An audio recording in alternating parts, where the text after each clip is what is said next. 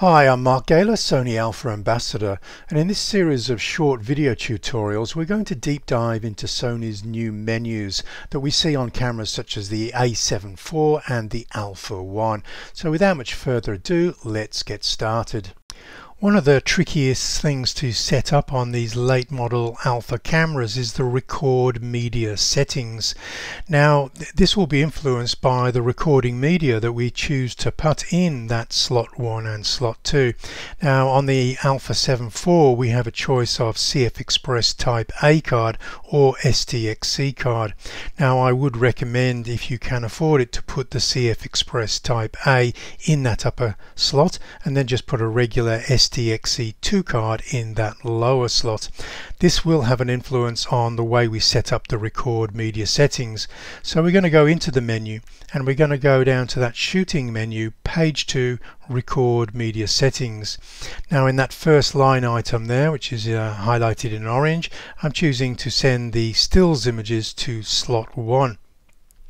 Now if I am shooting raw files in rapid bursts of images I'm going to have an almost limitless buffer if I choose to put a CF Express Type A card in that upper slot.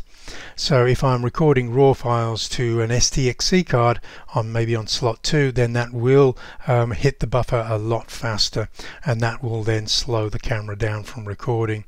Now second line item is where are we going to send the movie files to? I'm choosing to send them to slot 2, the lower slot. Just a word of warning on that however, in the if you're shooting in the S and Q, the slow and quick at the very high frame rate, 100 or 120 frames per second in 10 10 bit then you are going to hit a, a, this warning screen here so you might either have to switch that over to um, uh, recording to the upper slot with the CF Express Type A card or lower that to an 8-bit recording or lower the frame rate so we can record to the SDXC2 card. So the third line item in this menu is auto switch media. Now this is off by default but I definitely recommend switching this to on and what that means is if the uh, uh, card in slot 1 becomes full, it will start recording on slot 2. If you've forgotten to put a card in slot 1, it will start recording to slot 2 instead. So that's a useful um, uh, setting to switch to the on. Um, when we go down we can now jump to the image quality settings. Now you'll notice in that uh, top line item I've switched slot 1 to sort recording.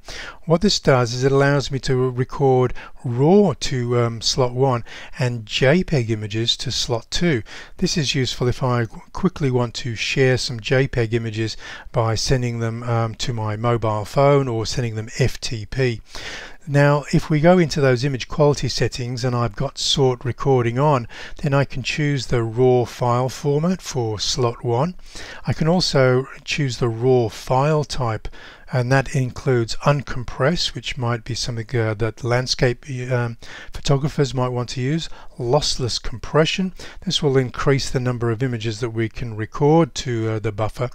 Um, also um, compressed.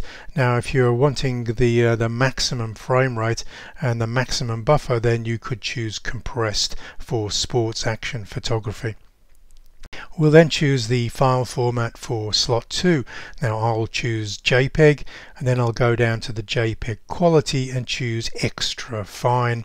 Now we do have light standard fine but I will choose the best quality JPEG here. We could also choose the JPEG image size but I'm going for the full 33 megapixels on this Alpha 7 IV. We can select OK and then come back out of the, uh, the image quality settings or we can go over back to the record media settings which is what I'll do now. So we've looked at um, setting that first line item to slot 1 or sort recording if I want to shoot uh, RAW to slot 1 and JPEG to slot 2. We have a third option there, simultaneous recording. This will record the same file um, quality to both cards simultaneously. So that would be uh, recording that RAW and we can choose the quality of that RAW going to both slots. Now this might be the preferred setup for a wedding photographer and they're basically um, using slot 2 as their insurance policy should they have a card error in slot 1.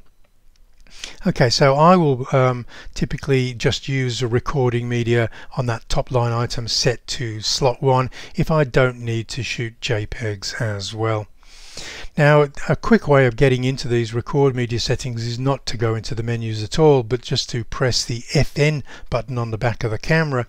And by default, the, uh, the lower right icon in that stills is going to be your record media settings. And if you get to the record media settings, you can also jump over to image quality settings as well. If you found this information useful, head over to patreon.com forward slash Mark Galer. I'm offering an Alpha Creative Skills support channel where you can download a 500 page camera specific ebook and I've covered most of the late model Alpha cameras. You'll also be able to uh, download a CamSet file if you own one of the later model Alphas. You'll be able to set up your entire camera with just a single file copied to a memory card.